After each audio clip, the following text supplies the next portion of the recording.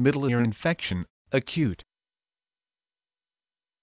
Middle ear infection, acute, acute middle ear infection, medically called acute otitis media is inflammation of the middle ear. Acute otitis media typically causes fluid in the middle ear accompanied by signs or symptoms of ear infection, a bulging eardrum usually accompanied by pain, or a perforated eardrum often with drainage of purulent material pus. Otitis media is the most frequent diagnosis in sick children in the U.S., especially affecting infants and preschoolers. Almost all children have one or more bouts of otitis media before age 6. The eustachian tube is shorter in children than adults which allows easy entry of bacteria and viruses into the middle ear resulting in acute otitis media. Bacteria such as Streptococcus pneumoniae strep and Haemophilus influenzae H. flu account for about 85% of cases of acute otitis media and viruses the remaining 15%. Babies under 6 weeks of age tend to have infections from different bacteria in the middle ear. Bottle feeding is a risk factor for otitis media.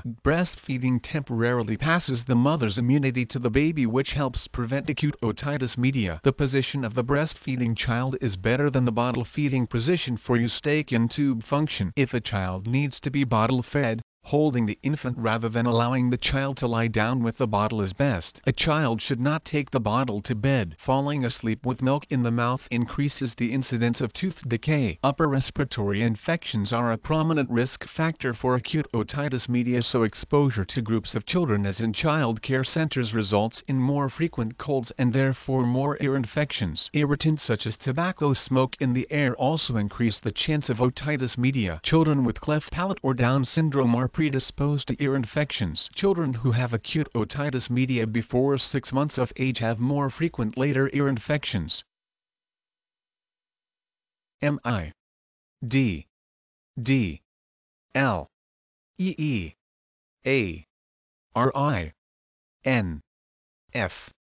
E. C. T. I. O. N. A. C. U T E. Middle ear infection, acute.